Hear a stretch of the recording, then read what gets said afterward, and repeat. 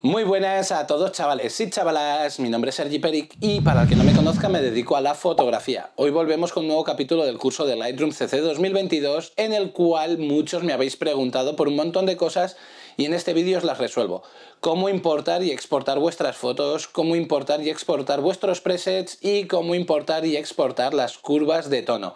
Todo eso en un solo vídeo. Y si te has perdido algún vídeo anterior de este curso, por aquí te dejo el enlace a mi página web donde los vas a poder ver todos de forma gratuita y ordenados, del primero al último. Pero no me demoro más, pasemos a la intro.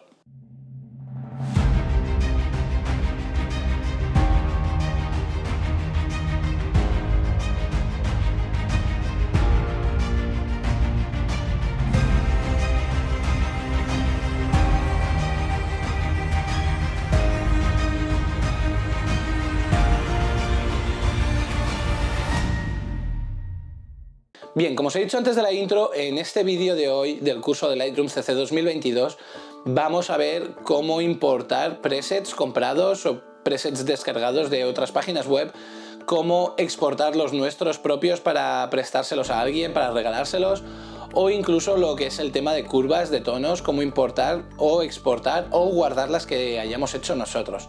También vamos a aprender a importar las fotografías, ya que en el vídeo anterior os enseñé cómo había que habilitar la configuración de Lightroom para importarlas directamente desde tarjeta y cómo exportar nuestras fotografías, crear unos presets de exportación en el cual ya viene pues nuestra marca de agua, un formato en concreto, un tamaño, un peso, todo eso lo vamos a ver en el vídeo de hoy, pero para ello nos vamos al ordenador. Una vez que tenemos abierto Lightroom, eh, os voy a enseñar cómo importar y exportar nuestros ajustes preestablecidos, cómo eh, importar y exportar nuestras curvas de tonos y cómo importar y exportar nuestras fotografías.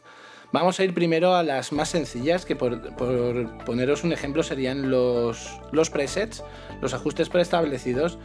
Y aquí yo lo tengo oculto, lo voy a dejar para que se muestre. Tenemos nuestros ajustes preestablecidos. Estos, que son los últimos que hicimos a través de este curso, pues aquí tenemos con el botón derecho una serie de opciones. Podríamos eliminar el grupo, cambiarle el nombre, importar más presets a este grupo o exportar el grupo y luego gestionar los ajustes preestablecidos y restablecer ajustes preestablecidos ocultos. Si nos vamos aquí a gestionar los ajustes preestablecidos, vemos que tenemos un montón eh, visibles, pero también hay ocultos, porque no los uso básicamente.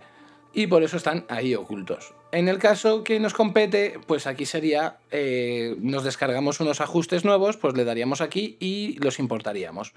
De normal, cuando importamos algún preset, eh, ya viene con su grupo y viene una serie de datos y no vendrían a esta carpeta, irían a la suya propia. Pero bueno, es bueno saberlo ya que nos facilitaría un montón. De hecho, aquí si le damos a importar, nos empezaría a buscar en carpetas y desde aquí elegiríamos el tipo de eh, ajuste preestablecido que es, si es de esta extensión, esta otra, de todas las que ahí vamos. Y ya con eso las importaríamos. Si las queremos exportar, en este caso pues le daríamos al botón derecho, exportar grupo, y ya elegiríamos la carpeta donde las quisiéramos guardar y además nos las comprime en un zip, que es lo más cómodo. Y luego con ese zip nos vamos a otro Lightroom y podríamos importarlas directamente al nuevo Lightroom. Y es muy, muy sencillo. Con las curvas de tonos pasa lo mismo. Nos vamos aquí a curvas y supongamos que queremos editar o guardar esta curva que acabo de realizar. Pues nos iríamos aquí y en el yo tengo muchas por desgracia y aquí tendríamos para guardarla. En, en el último tramo pone guardar. De hecho, si restablecemos y nos vamos a la última opción, no nos aparece lo de guardar ya que detecta que no hay ninguna curva realizada. Pero ahora la modificamos, nos vamos aquí y en el último nos da la opción de guardar. Y nos abre justamente donde tenemos todas las curvas de tonos que tengamos instaladas. Y aquí pues la, guardaríamos con una extensión XMP. Pero al igual, eh, si queremos importar eh, curvas que nos hemos comprado, hemos descargado de internet, pues nos tendríamos que ir a esta dirección. En app, en app data, roaming, eh, adobe, camera raw, curves. Y ahí es donde las tendríamos que guardar. Así de sencillo. Así es como guardaríamos o importaríamos y exportaríamos nuestras curvas de tonos y nuestros presets.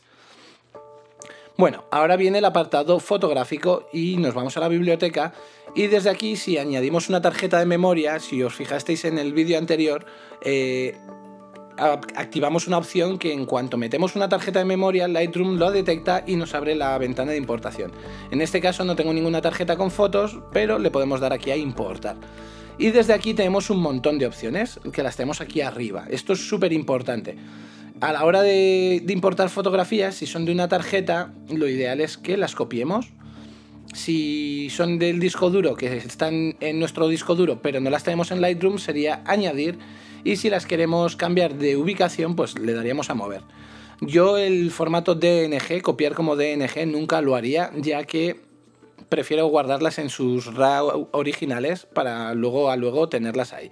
Pero bueno, nos vamos a ir ahora a alguna carpeta por cierto, si te gusta mi contenido, te agradecería un montón que le des un buen like a este vídeo, que te suscribas al canal si todavía no lo has hecho, que para mí es de vital importancia, que ya estamos casi cerca de los 10.000. Y bueno, ya de paso pues le das a esa campanita y te notifica cada vez que subo un vídeo. Y yo te lo agradeceré un montón. Y nos vamos por aquí donde tenga las imágenes.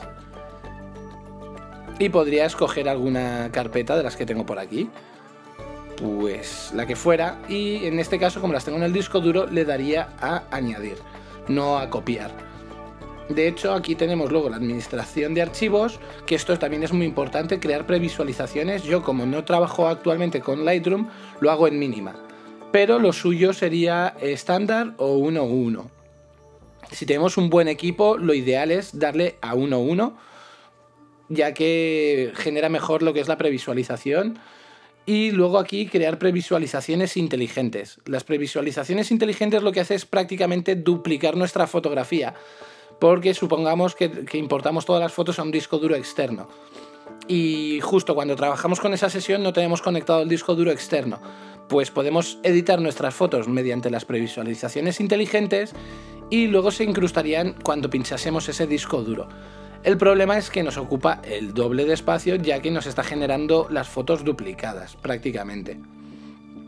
Luego desde aquí no importar supuestos duplicados, eh, pues por poneros un ejemplo, si tenemos tres fotos iguales o hemos importado una sesión de fotos y luego hemos hecho una segunda sesión de fotos y tenemos las dos sesiones en la tarjeta, eh, reconocerá que la primera sesión ya está importada y no las marcará para importar. Eso es muy, muy importante y luego añadir a colección. Esto es por si las queremos añadir alguna colección en concreto, poderlo hacer ya directamente desde aquí sin tener que pasar luego por el módulo de biblioteca.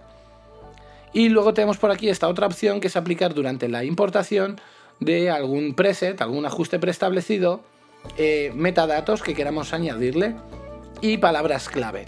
Yo de normal todo esto no lo utilizo, pero reconozco que sería mucho más cómodo eh, acostumbrarse a hacerlo, ya que luego tendríamos muy muy bien clasificadas nuestras fotografías. Pero bueno, eh, mi error de cuando empecé con Lightroom, que no lo hacía y a fecha de hoy sigo sin hacerlo, sinceramente. Por último tenemos lo que es la exportación de fotografías, que le damos aquí al botón derecho y tenemos exportar.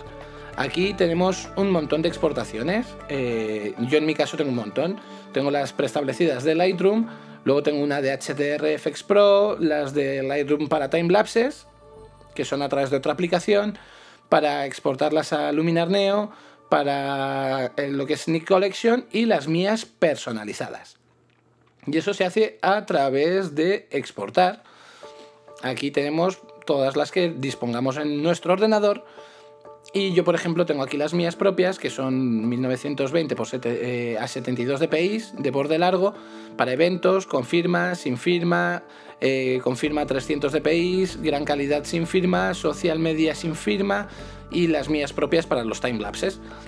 Y esto se hace a base de enredar justamente aquí, exportar a disco duro, a un correo electrónico, a un CD DVD, eh, exportar a estos, a estos programas y ya desde aquí haríamos los parámetros.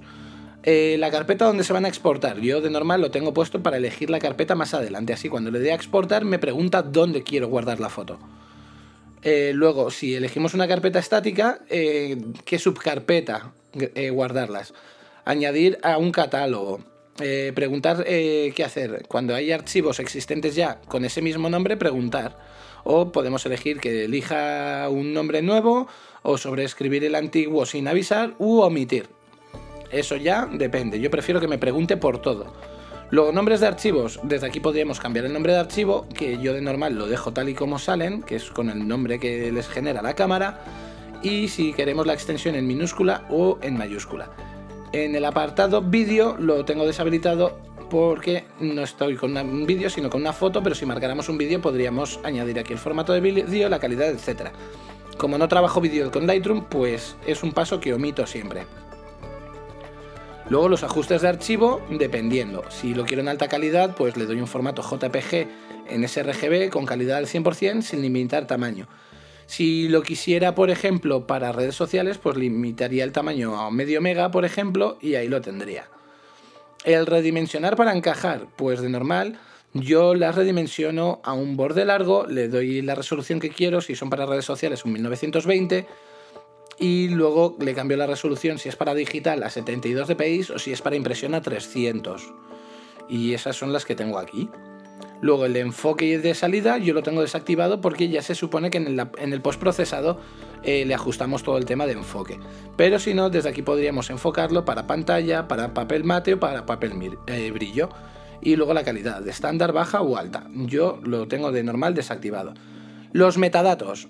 Dependiendo, si las quiero para papel, pues le quito los metadatos, si las quiero para digital, le guardo los metadatos para que sepan que es de mi autoría esa fotografía. Y desde aquí el copyright, información de contacto con información del cámara RAW, información de la cámara y el RAW, eh, todos los metadatos. Y desde aquí lo que es la marca de agua, podemos poner eh, distintas, yo tengo aquí varias creadas que son las que utilizo, o podemos añadirle texto, ya dependiendo de lo que quisiéramos. Y luego el, postprocesamiento, pues eh, yo cuando termino de exportar una sesión de fotos me gusta que me abra el explorador donde se han guardado esas fotos. O si quisiera abrirlas con otra aplicación, pues le daríamos aquí.